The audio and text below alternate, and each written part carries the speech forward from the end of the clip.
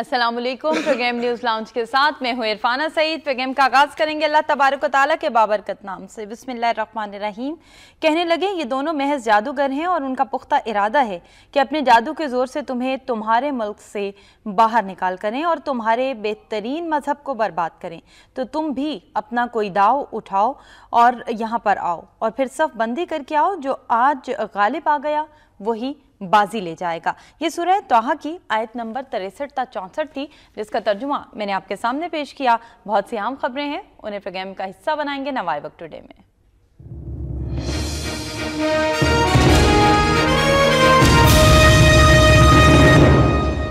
और अमेरिका का do more का मुतालबा, पाकिस्तान हमसाया ममालिक में हमले करने वाले ग्रुपों के खिलाफ कार्रवाई करे। अमरीका एफ़ सोलह इमदाद रोकने के बाद डू मोर का मुतालबा। भारतीय जुल्म बढ़ गया। कश्मीरियों को तारीख में पहली बार दरगाह हज़रत बल में नमाज़ जुमा अदा करने से रोक दिया गया।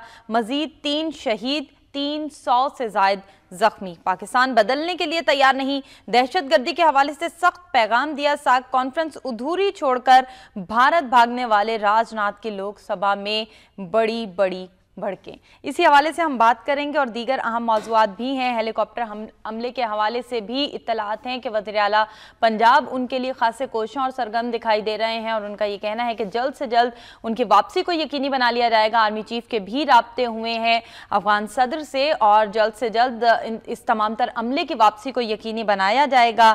और एक और अहम खबर जो मैं इस वक्त शामिल करना चाहूँगी वो मरूफ अदाकारा और हिदायतकारा शमी मारा जी के हवाले से है। शमी मारा इंतकाल इंतकाल कर गई हैं लंदन में और उनके हवाले से कल जो हमें इतलात मौसू हुई थी दो से तीन दिन लगेंगे उनकी डेड बॉडी यहाँ पहुँचाई जाएगी और उसके बाद उनकी अपने ही मुल्क में अपनी ही सरजमीन पर तदफीन भी होगी। प्रोग्राम में मेरे साथ शरीक गुफ्तु होंगे दिलावर चौधरी साहब और गुफ्तु का दिलावर चौधरी साहब आपसे आगाज़ करूँगी। आपको खुश आमदेद कहते हुए कुछ बात करेंगे हमसाया ममालिक के हवाले से उनके रवैयों के हवाले से लेकिन उससे पहले जो मैं बात करूँगी, वो अपने चौधरी साहब की बात करूँगी। इशारा तो आप समझ गए होंगे, मैंने किसकी तरफ़ किया?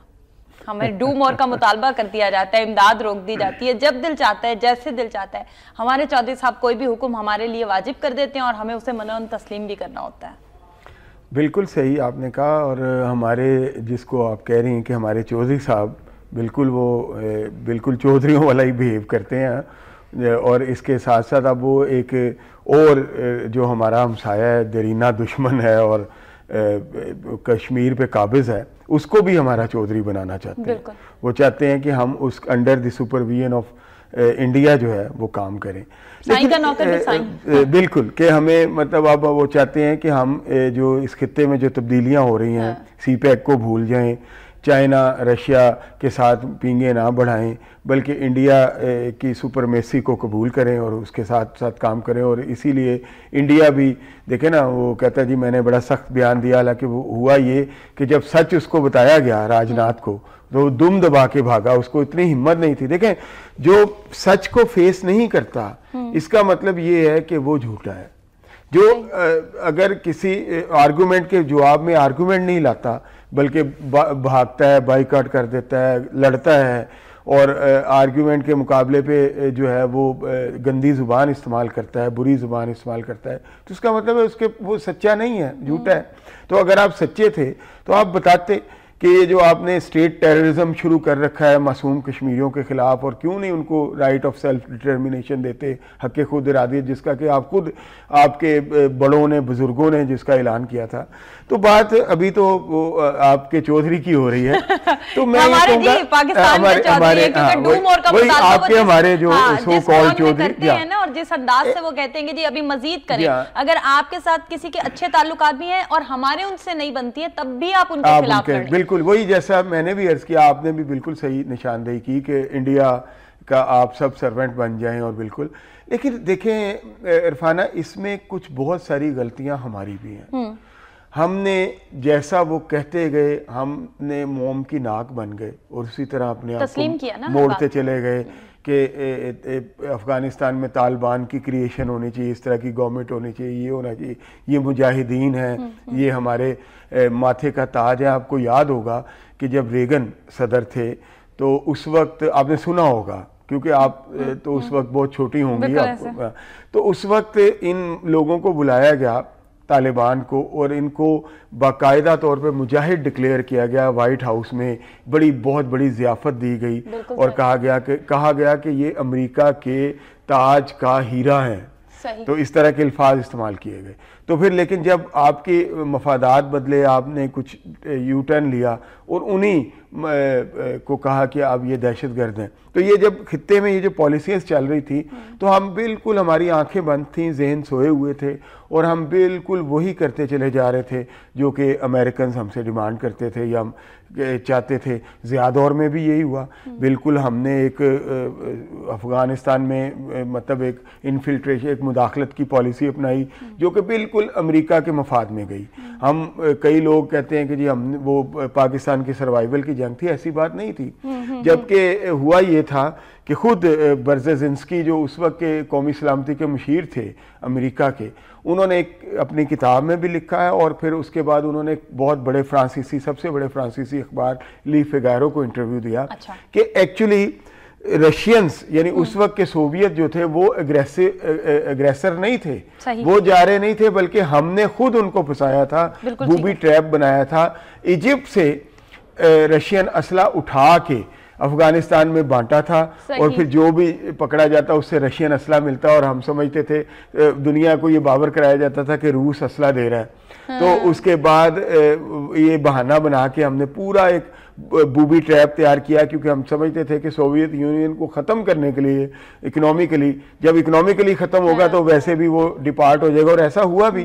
तो उसको अफ़गानिस्तान की एक जंग में उलझाना बहुत ज़रूरी है। उनके अल्फाज बता रहा हूँ वो किताब भी मेरे पास मौजूद है और लीफे गायरों के इंटरव्यूज़ भी रिकॉर्ड पे हैं। हम्म। तो उसके बाद उन्होंने जियाउल हक साहब को एंगेज किया। मुझे तो यूँ लगता है कि हमारे जो आखिरी दो मार्शल लॉ हैं हम्म, वो प्री हम्म। प्लान थे। अच्छा। और ये मेरी परसेप्शन है, है कि जब अफ़गानिस्तान में कोई ग्रेट गेम होने लगती थी अमेरिकन की तरफ़ से तो पाकिस्तान के अंदर जमहूरियत की वजात लपेटी जाती थी ताकि एक ही आदमी के साथ वो डायलॉग करें और उसको अपनी राह पे लेके और ऐसा होता गया।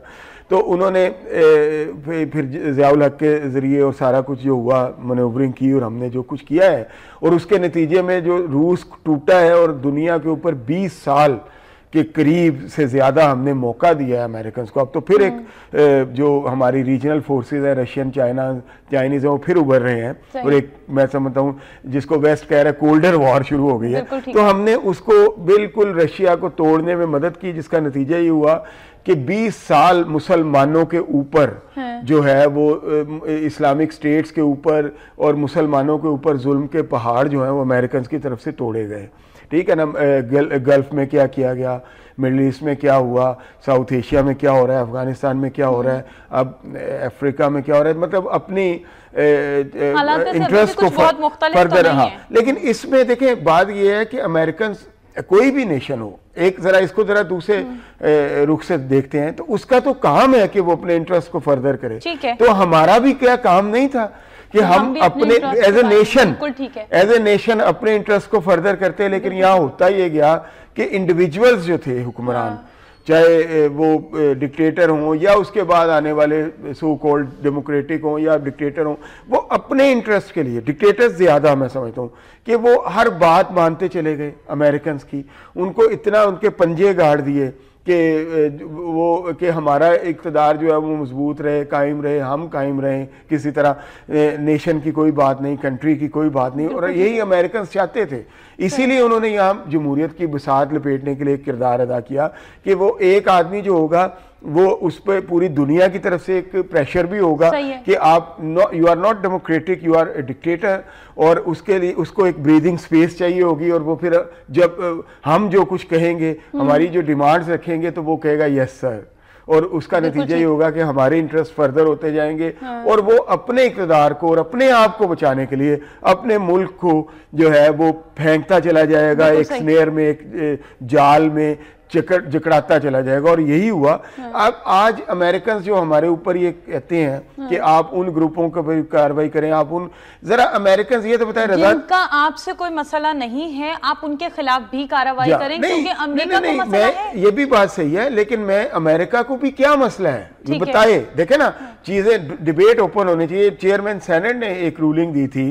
कि हम अगर बताएँ कि ये टेररिस्ट कहाँ पैदा हुए और मुजाहिदीन किसने बताए और अब टेररिस्ट किस से बनाए तो फिर बात बड़ी दूर तक जाएगी। अमेरिकन कांग्रेसमैन मुँह संभाल के बोला करें। ये उन्होंने कहा था। अच्छा, वैसे तो ये बात, मैं, मैं जरा बात कंप्लीट जी, करें बड़ी अहम बात है। तो अमेरिकन जरा ये तो बताएँ कि ये जो टेररिस्ट हैं ये जो हकानी ग्रुप का नाम भी लिया जाए ये कौन लोग हैं? क्या ये वही नहीं है जलालुद्दीन हकानी के जिनको तालिबान बनाए गए फिर तालिबान की गवर्नमेंट बनाई गई और जलालुद्दीन हकानी को बाकायदा वज़ीर तालीम बनवाया गया अफ़गानिस्तान का जो कि मौजूद तो वजीरस्तान में थे और हाँ। उनको वहाँ पे मतलब उनको किया गया सारा कुछ। ये किसने उनको मज़बूत किया? कौन है? ये अमेरिकन और सीआईए और ये सब लोग ये भी तो बताएँ कि ये जिनको आज वो टेररिस्ट कहते हैं ये कहाँ से आए हैं? किसकी प्रोडक्ट है? किसने इनको बाकायदा तौर पे जो है इनिशिएट किया है और सारा कुछ किया देखे यकीनन वो इसका जवाब नहीं दे सकते। ज़रूरी नहीं कि आप कहें कि आज ये हेड्स है। और कल टेल आपका है आज हेड भी आपका है टेल भी आपका है। तो इस तरह तो नहीं है दुनिया अभी इतनी लंबी मुद्दत नहीं गुजरी कि लोग भूल जाएँ।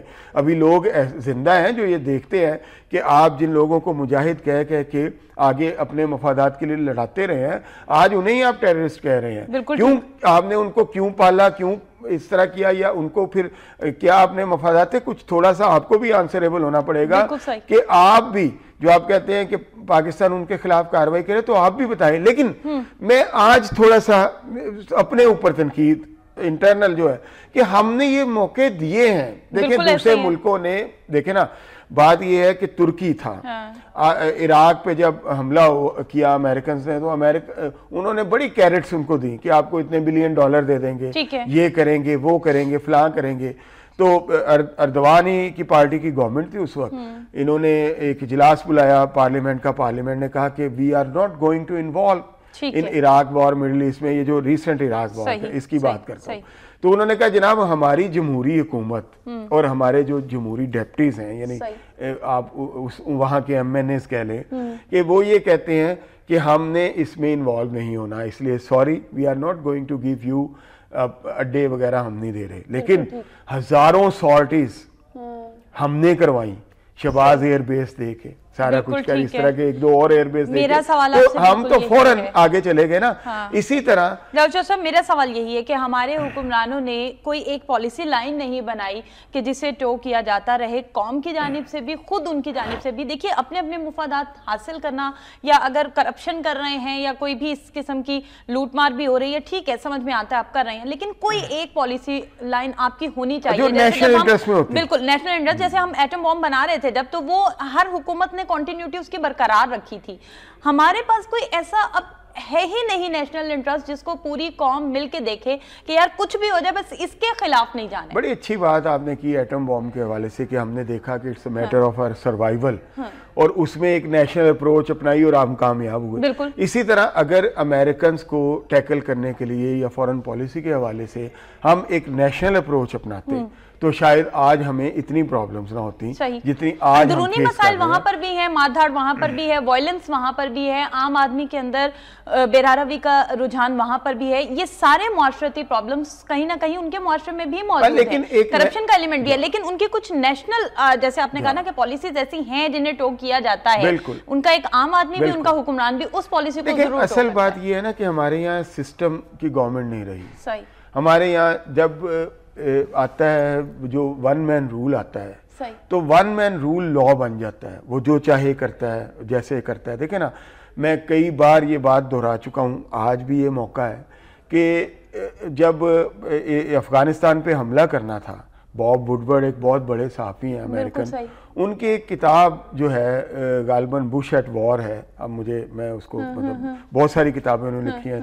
सी आई ए सीक्रेट वॉर और इस तरह की बुश एट वॉर और ओबामाज वॉर इस तरह मतलब बड़ी और बड़ी अहमियत वो कहते हैं उनको बारे में कहा जाता है कि वो इन्वेस्टिगेटिव जर्नलिज्म के मूजिद मूजिदों में से हैं अमेरिकन के। ठीक है ना? मतलब इस तरह की बातें।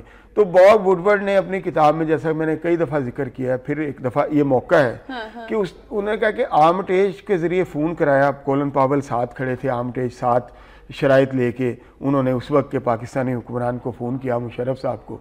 तो उन्होंने कहा कि these are this seven conditions either we are you are with us or with the terrorist you will have to decide तुमने ये फैसला करना है ये सात शर्तें हैं। उनमें से उनका ये ख्याल था कि पाँच शर्तें तो मान लेंगे लेकिन दो और खास तौर पे आखिरी एक तो बिल्कुल नहीं मानेंगे कि वो नहीं हम इस तरह नहीं कर सकते कि आप लोगों ने की ये पॉलिसी थी कि तालिबान को स्ट्रॉन्ग करें और ये करें। वैसे उनमें से एक थी कि लॉजिस्टिक स्पोर्ट्स सपोर्ट दे अगेंस्ट तालिबान। वो कहते थे कि शायद ये मुश्किल से माने। और दूसरी ये सातवीं ये थी कि we will fight with you against Taliban. तो कहते थे शायद ये शर्त हम शायद का यकीनी तौर पे बड़ा मुश्किल होगा इसके लिए वो टाइम लेंगे और इस तरह। लेकिन हाँ लेकिन उन्होंने कहा कि वो बड़े हैरान हुए कि जब एक ही फ़ोन कॉल पे उन्होंने कहा ओके हम मानते हैं ये बात। मतलब उनके और फिर वो, या, वो, सा, वो हाँ। वो सात शराइत लेके खुशी खुशी व्हाइट हाउस में बुश के पास गए और बुश जो है वो वॉर कमेटी की मीटिंग हो रही थी। तो उन्होंने इतने वो एक्साइटेड थे बकौल बॉब वुडवर्ड के कि उन्होंने जाके कहा कि आप क्या यहाँ वक्त ज़ाया करें असल काम तो हम करके आए हैं।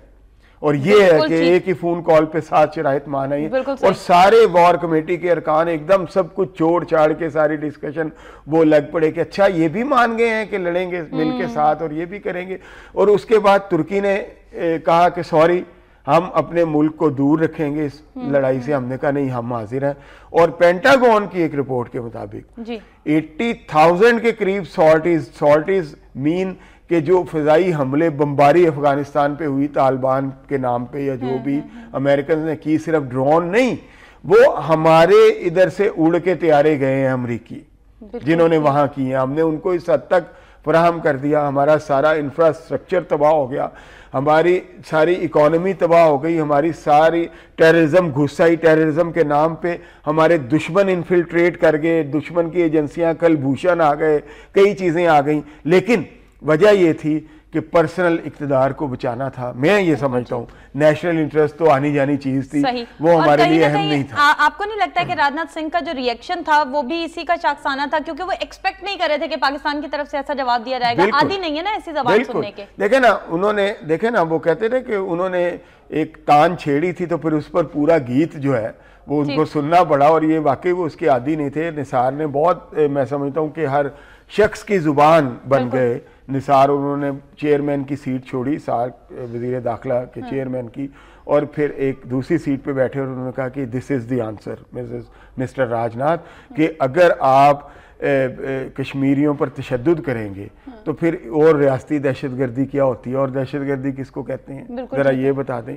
और इस तरह जो जिस तरह का आंसर बिफिटेड आंसर जो है देखिए बात यह है कि अब हमें भी ये सारी बातें तो हो गई हम करते भी रहते हैं कि ये इस तरह हुआ चले हो गया ये सब। इस वक्त क्या है? जी। इस वक्त की सूरत हाल ये है कि मैं समझता हूँ कि एक नेशनल इंटरेस्ट की इस्टेब्लिशमेंट कायम है पाकिस्तान के ऊपर। मैं मैं समझता हूँ कि जो कि पाकिस्तान के इंटरेस्ट को फॉलो कर रहे हैं। वेरी लकीली मैं मैं मायूस नहीं हूँ। कहते रहे अमेरिकन कि आप उन भी ये भी करें वो भी करें। लेकिन हमने जो लाइन अब टो करना शुरू की है जो रीजनल फोर्सेस के साथ जिस तरह हम कोलेबोरेट हो रहे हैं, अपनी खारजा पॉलिसी को हम जिस तरह चेंज कर रहे हैं, कश्मीर के ऊपर जिस तरह एक स्टांस ले रहे हैं। खुद अमेरिकन डरे हुए हैं। वो समझते हैं कि उनकी मुट्ठी में रेत है, रेत की तरह जिस तरह रेत मुट्ठी से एकदम स्लिप होती है, पाकिस्तान उनकी मुट्ठी से स्लिप हो रहा है। अब ये वो पाकिस्तान नहीं है कि जिसको वो एक फ़ोन कॉल पे कहेंगे, ये सात शर्तें हैं, और वो कहेंगे all right we we are we we agree and we do what you want ठीक है ना? वी आर विद यू अब पाकिस्तान जो है उसको सी पैक चाहिए। अब पाकिस्तान को रीजनल फोर्सेस चाहिए। पेंटागन आपने दो चार दिन पहले रिपोर्ट देखी होगी कि 20 बरस में पाकिस्तान चाइना रशिया और शुमाली कोरिया हम्म। का एक अलायंस बन सकता है जो कि अमेरिकन हेजमनी को जो है वो बड़ा बहुत एक सीरियस थ्रेट होगा। तो अमेरिकन को तो ये फ़िक्र पड़ी हुई है। और ये बन चुका 20 बरस उन्होंने बड़ी लेट बताया। मैं कहता हूँ और दो चार साल में आप देखेंगे कि अमेरिकन का बहुत ज़्यादा यहाँ बोरिया बिस्तर गोल होगा और जिसका जनूबी एशिया में और मिडल ईस्ट में बोरिया बिस्तर गोल होता है उसका समझे पूरी दुनिया से उसका बिस्तर बोरिया बिस्तर गोल हो, हो जाता अच्छा ये भी बताइए तो, साहब ये ये महज हमारी एक हुकूमती पॉलिसी है या ये हमारे नेशनल इंटरेस्ट की पॉलिसी है जो मैं बात कर रही बात। कि अगर डेढ़ दो साल के बाद हुकूमत जो कि बदलनी ही है बदल जाती है दूसरी हुकूमत आती है वो इन पॉलिसीज़ को कंटिन्यू करेगी? मेरा ख्याल है कि हमारे जो ये स्टेब्लिशमेंट की मैं इसको मिलिट्री और सिविलियन कोलेबोरेशन की पॉलिसी कहूँगा। और ये पॉलिसी अब इन लाइंस पे चल गई है कि आप इसको कोई रिवर्स भी नहीं कर सकेगा। कोई चाहेगा भी क्योंकि हमारे सर्वाइवल का मसला बन गया है। देखिए अमेरिकन ने वही इंडियंस को अंगेज कर लिया है और वो उनको भी शेयर दे रहे हैं। इंडियंस अब वही काम इंडियंस कर रहे हैं जो बदकिस्मती से हम करते रहे अमेरिकन के लिए और इस वक्त वो पूरी की पूरी क्लाइंट स्टेट बन गए हैं। वो बड़ी ग्लोरीफाइड बात करते हैं रोशन इंडिया की बात करते हैं ये करते हैं लेकिन वो एक बड़ी एक क्लाइंट स्टेट बन गए गुंडा बनने की कोशिश कर रहे हैं अमेरिकन का। तो वो नुकसान उठाएँगे उनको अंदाज़ा नहीं है कि रीजनल फोर्सेस किस हद तक यूनाइटेड है। तो हम भी इससे वापस नहीं आ सकते। हम्म। ये जो सी पैक मुकम्मल होगा इंशाल्लाह और सारा कुछ होगा अब हमारी इस्टेब्लिशमेंट एक ऐसी पॉलिसी की तरफ़ चल निकली है कि कोई इस पॉलिसी को रिवर्स नहीं कर सकेगा। आई एश्योर यू ये पॉलिसी अब रिवर्स नहीं होगी। वही नेशनल इंटरेस्ट की पॉलिसी बिल्कुल और यही नेशनल इंटरेस्ट की पॉलिसी है। देखें हमें चाहिए ट्रेड ठीक है चाइनीज़ हमारे दोस्त हैं रशियंस के साथ हम बड़े अच्छे रिलेशन की तरफ़ जा रहे हैं सारा कुछ।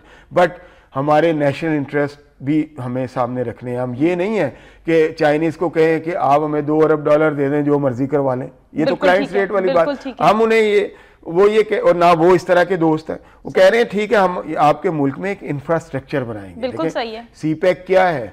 सी पैक एक कमर्शियल कॉर्नर प्लॉट है। बिल्कुल ठीक जो आपका मुल्क एक कमर्शियल कॉर्नर प्लॉट है और आपको पता है कि अगर आपके पास वसाइल ना भी हों हम्म। तो कमर्शियल कॉर्नर प्लॉट की क्या अहमियत होती है? वहाँ कोई भी इन्वेस्टमेंट के लिए तैयार होता है। आसान लफ्जों में मैं बड़े आसान लफ्जों में हम्म, बताता हूँ हम्म। कि जब आपका सीपैक आ जाएगा तो आप इतना ज़्यादा इकोनॉमिक सेल्फ रिलायंस की तरफ़ जाएँगे कि आपको इतना वहाँ उसके लिए जो है वो जब वहाँ से गुजरेगा सामान और ग्वादर तक और फिर यूरोप तक और पता नहीं कहाँ कहाँ तक और अफ्रीका तक और बहुत बड़ी ये चाह बहार कुछ नहीं है चाह बहार को भी साथ देना पड़ेगा ग्वादर का हम्म। और देगी चाह बहार भी जो मेरा मेरे ख्याल है ये कोई इंडियन उससे फ़ायदा नहीं उठा सकेंगे।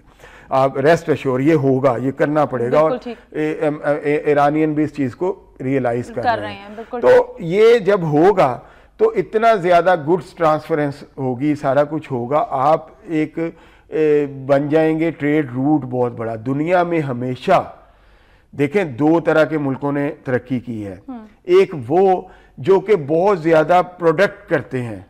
ठीक है जैसे जापान है कि उसके पास रॉ मटेरियल नहीं है दुनिया से लेता है और प्रोडक्ट तैयार फिनिश प्रोडक्ट चाइनीज़ भी इसी तरह कर, कर की तरफ़ चल पड़े माजी में भी इसी तरह होता रहा। और दूसरे वो मुल्क जो जिनके वो जिनके ज़रिए वो प्रोडक्ट ट्रेड होती हैं जिनके रास्ते से गुजर के उन्होंने भी बहुत तरक्कियाँ की हैं। इंसेंस रोड था सिल्क रोड के बारे में शायद आपने सुना हो। ये हज़ारों साल पुराने रोड्स की बात कर रहा हूँ हाँ, हाँ, कि जिनकी हाँ। वजह से लोग ये आप समझें कि इधर से यमन से होता हुआ इंडिया से होता हुआ लेवांत जो मतलब ये आज का जो फ़िलिस्तीन है और उसके बाद इजिप्ट है वहाँ से होता हुआ मेडिटेरेनियन से होता हुआ रोम तक ग्रीस ग्रीस तक ये जाता था ट्रेड का माल।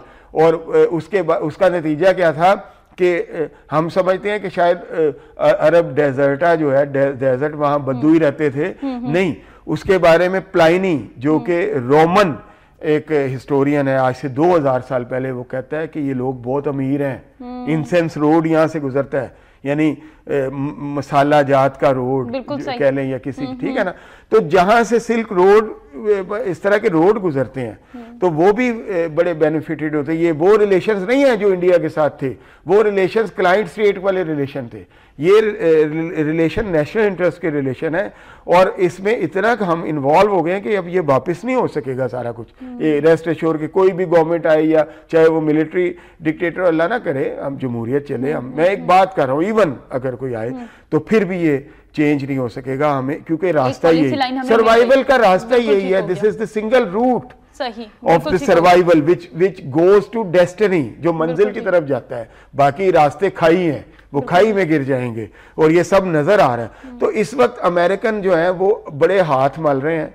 वो जैसा वो मुझे जॉन एलिया का एक शेर याद आ गया कि हो रहा हूँ इस तरह से बर्बाद हम्म। देखने वाले भी हाथ मलते हैं वाह वाह क्या तो अमेरिकन जो है वो बर्बाद हो रहे हैं हाँ। वो हाथ मल रहे हैं वो इस खत्ते में एक अनरेस्ट क्रिएट करना चाह रहे हैं वो इस खत्ते में और इसके लिए उन्होंने आगे लगाया इंडियंस को क्लाइंट स्टेट बनाया इसीलिए मैं कह रहा हूँ ना जो मैं कहता भी रहता हूँ कि इस मौके पे इंडियंस को भी कोई अकल लॉजिक समझना चाहिए कि वो तो इस खित्ते के लोग हैं। तो अगर इस खित्ते में आग लगेगी तो उसका धुआँ उसकी गर्मी उसका नुकसान उनको नहीं पहुंचेगा। जो बाहर की कुतें हैं वो तो बाहर तमाशा देखती रहेंगी लेकिन उनको तो पहुंचेगा ना। तो इसलिए उनको भी मेरा ख्याल है they must come ahead and join hand with the regional forces regional forces के साथ ज्वाइन हैंड करना चाहिए इसमें पूरे रीजन की तरक्की होगी। ये नहीं है कि आप चाइना से फ्रस्ट्रेट हो जाएँ।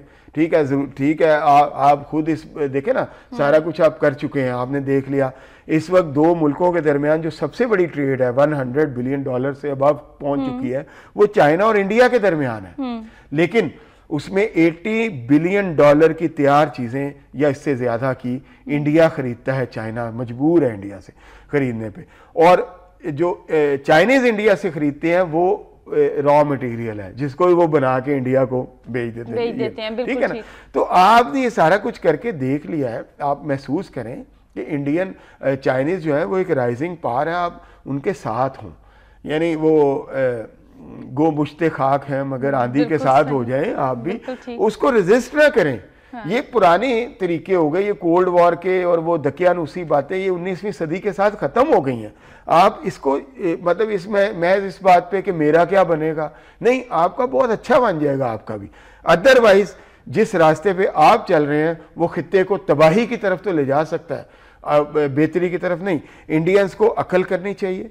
और इंडियंस को अपने इरिटेंट्स को कम से कम करना चाहिए जो मेन इश्यूज़ हैं रीजनल कश्मीर जैसे उनको उनके सोल्यूशन की तरफ़ आना चाहिए। जैसे इश्यूज़ के सोल्यूशन की तरफ़ कैसे आएगा? पैलेट गन्स का इस्तेमाल अभी भी हो रहा है दरगाह हज़रत बल पे जो हुआ ये सारी सूरत हाल क्यों भारत समझने के लिए तैयार नहीं है? जबकि वो पाकिस्तान के बारे में जाके कह रहे हैं जी पाकिस्तान समझने के लिए तैयार नहीं है।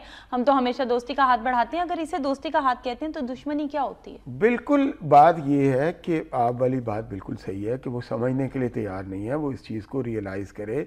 This is the changing world और पाकिस्तान ने बड़े इस वक्त पाकिस्तान पे प्रेशर डाला जा रहा है। अफ़गानिस्तान के हवाले से इंडिया के हवाले से ये बावर कराने की कोशिश किया जा रही है। मैं मीडिया को हमारे मीडिया को भी बड़ा प्रोएक्टिव रोल जागता वो रोल अदा करना चाहिए। उनके हाथों किसी भी मीडिया के सेक्शन को किसी भी मीडिया के शख्स को बशमूल मेरे खिलौना नहीं बनना चाहिए कि वो इस वक्त हम लोगों को मायूस करना चाहते हैं ये बाबर करा के कि शायद हम अकेले रह गए। लेकिन ये पहला मौका है कि हम के रीजनल फोर्सेस के साथ हैं। अकेले नहीं है।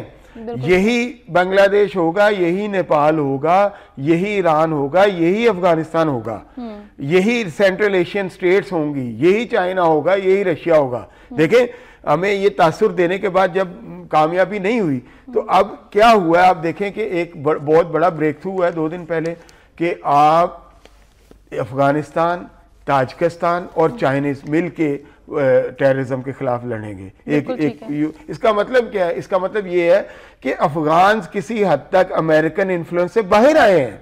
चाहे टेन परसेंट ही ट्वेंटी परसेंट ही।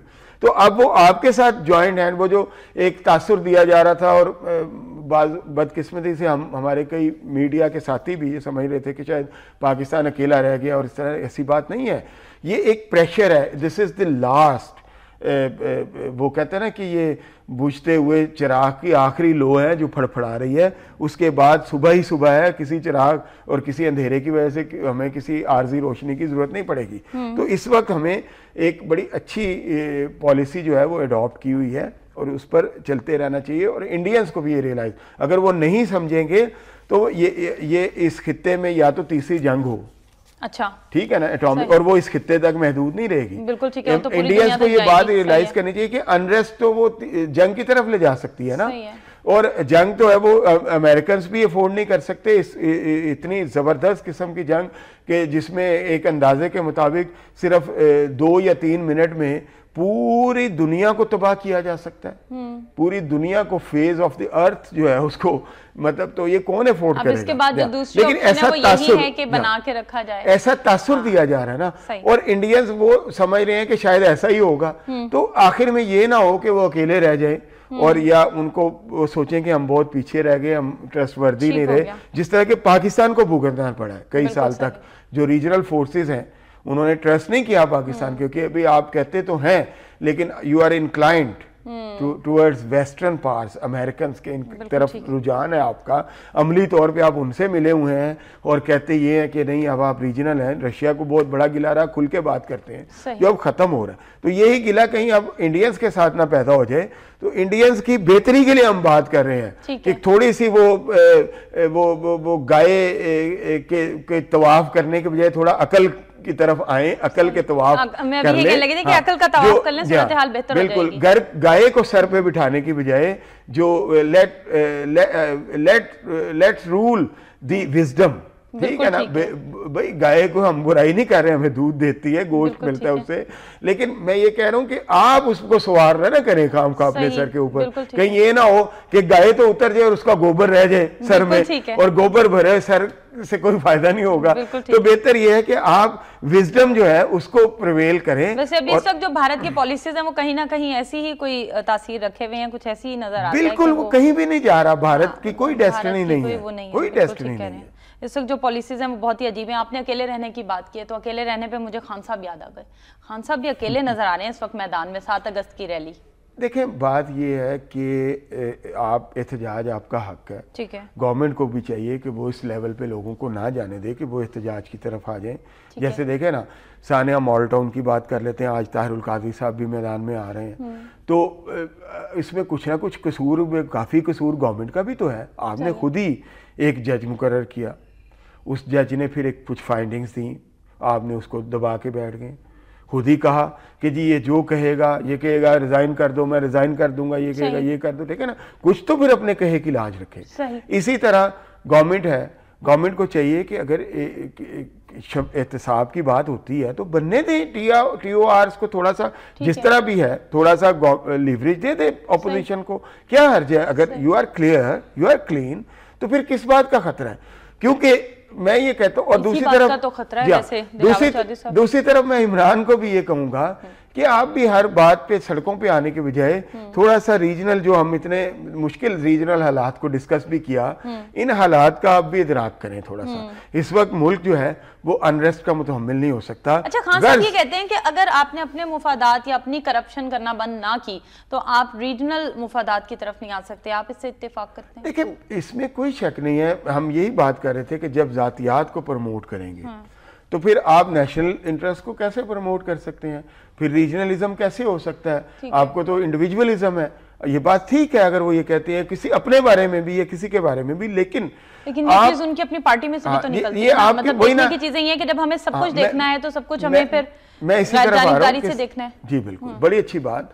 मैं इसी तरफ़ आ रहा हूँ कि सबसे पहले आप जो चाहते हैं पहले अपने इर्द गिर्द जहाँ आपका अख्तियार है पहले आप वहाँ वो माहौल क्रिएट करें। बिल्कुल ठीक अगर आप वहाँ वो माहौल क्रिएट नहीं करते और आप चाहते हैं कि दूसरे इस तरह कर रहे हैं फिर ये आपकी परसेप्शन और जिसको कहते हैं ना खुशफहमी हाँ। वो हो सकती है। तो एक तो सबसे पहले आप जो है वो आपने ये कहा कि जी हम जब आपने अनाउंस किया इमरान खान ने उन्होंने कहा जी सबसे पहले शौर की बेदारी होगी। फिर धरने भी होंगे और इतने बड़े होंगे कि पहले धरने धरनियाँ लगेंगे इस तरह की बातें की। तो शऊर पार्टी के अंदर नहीं बेदार करना?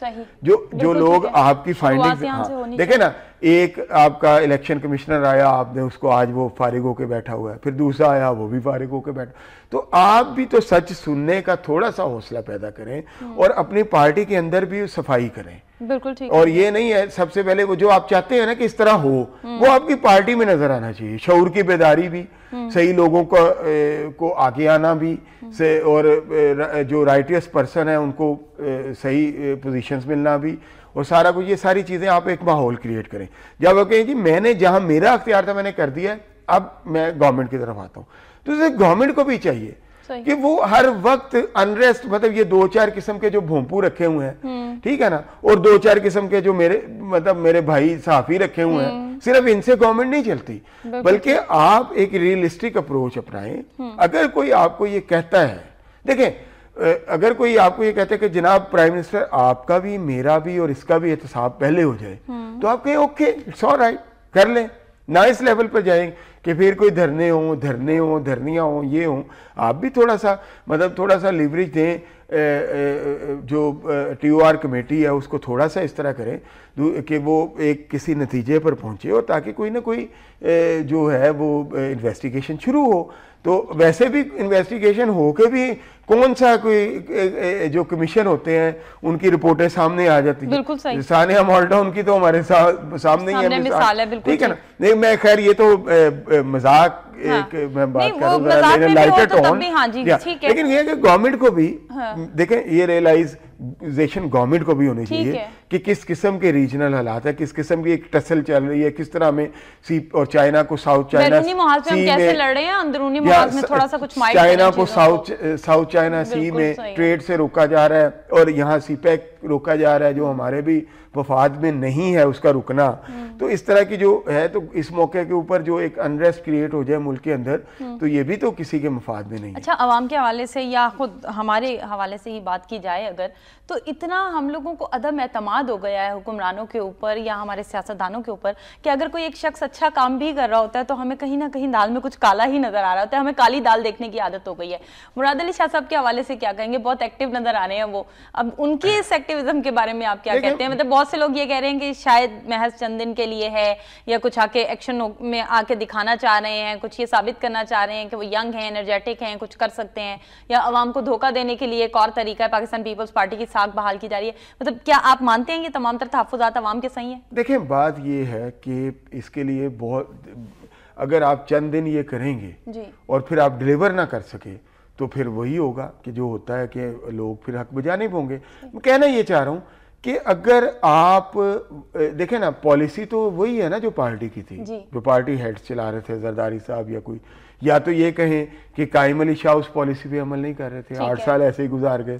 या ये कहें कि अब जो है वो अमल नहीं होगा उस पॉलिसी को इतनी दिलेरी के साथ ब्लंट होके कि नहीं जी जरदारी साहब फलां साहब जैड साहब बकर साहब ये नहीं होगा जो सही है वो होगा। तो इतनी बड़ा इनिशिएटिव क्या मुराद अली शाह ले सकते हैं? हम्म, हम्म। या तो मैं समझता हूँ कि पूरी पीपल्स पार्टी को चेंज होना पड़ेगा उसकी पॉलिसीज़ को चेंज होना पड़ेगा सपोर्टिव होना पड़ेगा। मुराद अली शाह के। अगर उनको पार्टी से सपोर्ट नहीं मिलेगी और ये हाथी के दांत सिर्फ़ दिखाने के रह जाएँगे तो चंद दिन में ये हाथी के दांत फिर दिखाने के काबिल भी नहीं रहेंगे। अच्छा, ठीक है ना? और ये इनको उतार लिया जाएगा काट लिया जाएगा खत्म हो जाएगा और फिर ज़्यादा ज़्यादा बैड नेम क्रिएट होगा। कि हम्म। जनाब ये एक ड्रामा किया गया था इलेक्शन दो 2018 के लिए।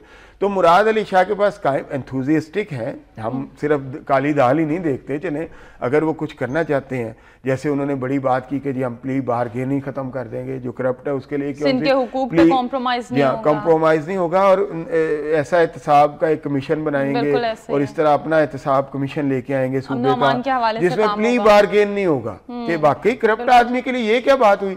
कि आप सौ रुपए लूटे और बीस रुपए दे के छूट जाए ठीक है ना? ये प्री बार्गेन तो बहुत बड़ा फ्रॉड है। हम्म। तो बिल्कुल सही उन्होंने कहा। तो अब उनको करके दिखाना पड़ेगा। ये नहीं है कि आप गाड़ी की डिग्गी के ऊपर फ़ाइल पे साइन कर रहे हैं हम्म, हम्म। या आप जहाज़ के में बैठ के फाइलें देख रहे हैं। देखना या आते ही आप क्या कर रहे हैं और उसके नतायज कैसे या आते ही आप कह रहे हैं कि जनाब ये नाके हटा दो फिर लेकिन ये नहीं है। बिल्कुल एक तो ये कि उनके नतज क्या होते हैं दूसरा दो महीने के बाद भी आप इसी तरह करेंगे हम्म। या नहीं करेंगे और फिर उनके बिल्कुल एंड रिजल्ट्स क्या है बिल्कुल आपने बिल्कुल सही पॉइंट आउट किया कि अब जो है वो ए, जो रिजल्ट्स देखे जाते हैं लोग बाशूर हो गए हैं और फिर पीपल्स पार्टी के ऊपर जो एक नो कॉन्फिडेंस सा नज़र आ रहा है। आज़ाद कश्मीर में आप देख लें पंजाब में देख लें जो बाई इलेक्शंस हुए हैं जनरल इलेक्शंस में पीपल्स पार्टी कहाँ जाके तौर पर साख खराब एक साख हम्म। खराब हुई है तो उसको बहाल करने के लिए बहुत बहुत बड़े बड़े जॉइंट किस्म के जिसको जिन्नाती स्टेप कहते हैं वो प्रैक्टिकल जिन्नाती स्टेप लेने बिल्कुल ठीक है। प्रोग्राम में तशरीफ़ लाने का बहुत शुक्रिया। दिलावर चौधरी साहब नाजिन प्रोग्राम का अपने वक्त अपने अख्ताम को पहुँचा। इरफाना सईद को दीजिए इजाज़त। अल्लाह निगहबान Thank you.